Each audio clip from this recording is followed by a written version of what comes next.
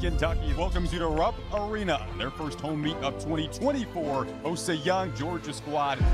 They're hoping it's going to be a magical night here at Rupp where they're honoring the 50th team in Kentucky history. Give it up for the godmother of Kentucky gymnastics.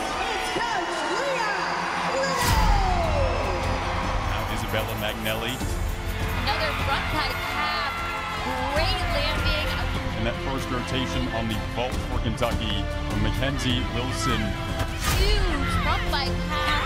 It wills the landing. It's the 10 Well deserved. And two perfects. on bars for Kentucky. Jillian Procasky.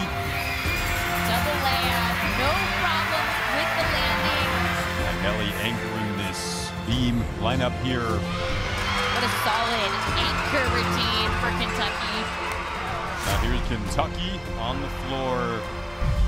What's impressed me a lot with this Kentucky team is just the amount of depth and readiness they're showing in competition. 9975, by the way, from Breslin Rose. And now here is Raena Worley. Her teammates have set her up perfectly for a 10. Could this be the night? Opens double tuck. A 10 could be in the air for Raena Worley.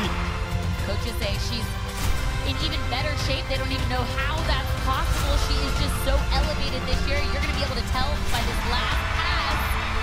It's just so easy for her. It is indeed. They give her a 10 on the floor.